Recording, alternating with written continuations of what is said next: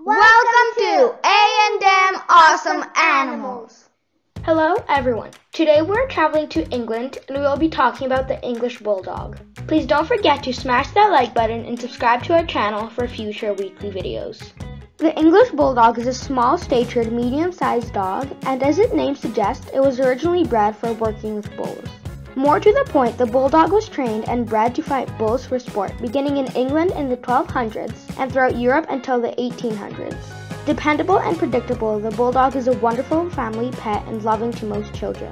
People-oriented is a breed that actively solicite human attention. However, they have retained the courage that was originally bred into them for bull baiting, so they make fine watchdogs. The English Bulldog has a sweet, gentle disposition, the bulldog is a wonderful family pet and loving to mostly all children.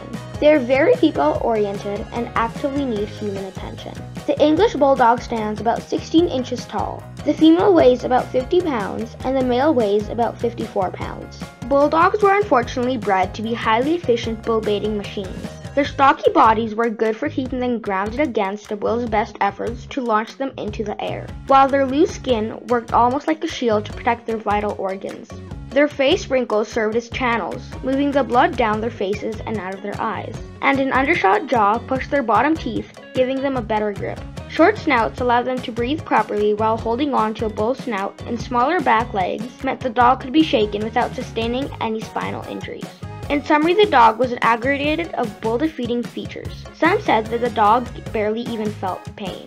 Once bull baiting was banned in England, bulldogs were suddenly not needed. It seemed like this breed's days were numbered, but lovers of the dog saw potential. Fanciers began to breed the dogs to have kinder and gentler demeanors.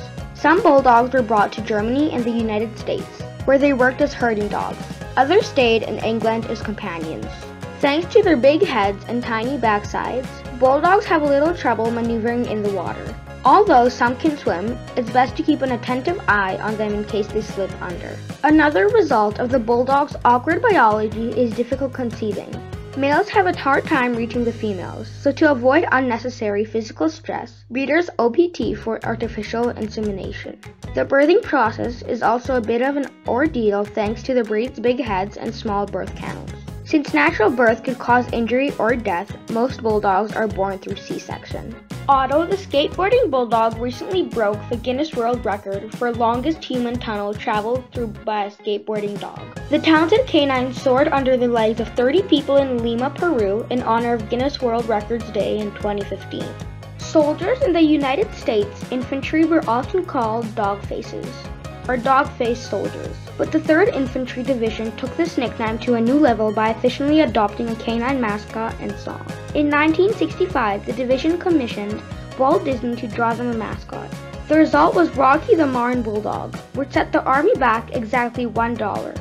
The single bank was signed by the Major General and framed with a letter of thanks.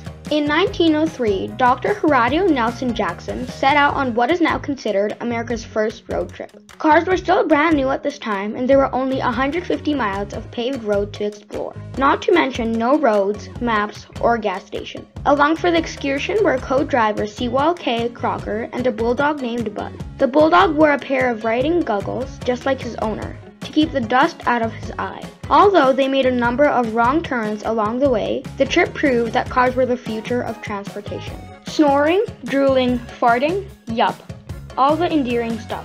Bulldogs are brachycephalic, a condition caused by their short snouts which makes them prone to gassiness and snorting. Bulldogs don't require a great deal of exercise, so a quick jaunt up and down the street during the not so hot part of the day and chill out sessions on the couch fit the bill perfectly for this medium energy dog. They also adapt well to different home environments and make great companions for singles as well as families of all sizes. If you can't be around as much as you like, don't worry. Plenty of dog sitters offer dog boarding, so you know your little darling will be in good hands while you're gone.